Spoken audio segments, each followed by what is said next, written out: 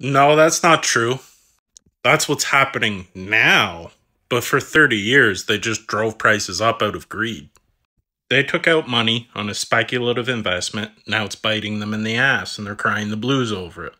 They, along with corporations, artificially created this inflation. You see, that's what I just don't get. People seem to be painting landlords as these paragons of virtue. No, the only reason that they haven't upped rent ridiculously is because in the past there was rent control, which, by the way, Doug Ford got rid of.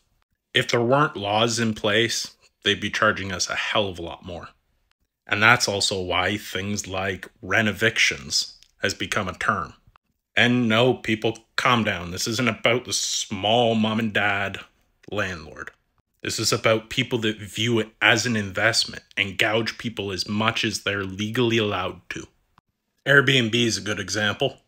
But the cost of living, especially in terms of housing, has been shit as long as I've been alive. And look at this hairline.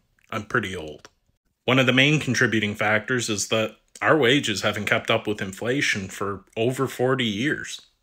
Shit jobs with shit benefits, predatory student loans, gentrification and municipalities essentially being pretty much focused solely on massive growth.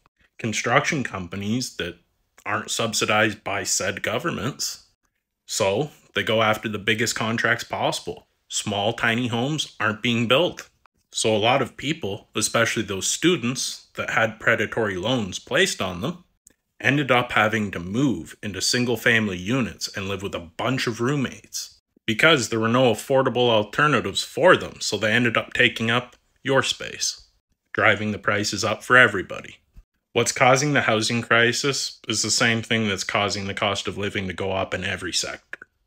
Our politicians don't represent us, the people, and capitalism only cares about profit. It's income inequality.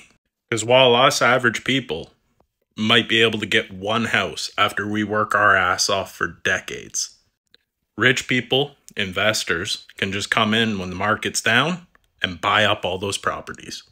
Income inequality is a bitch, isn't it? Eat the rich. Because make no mistake, the state of the world is their fault.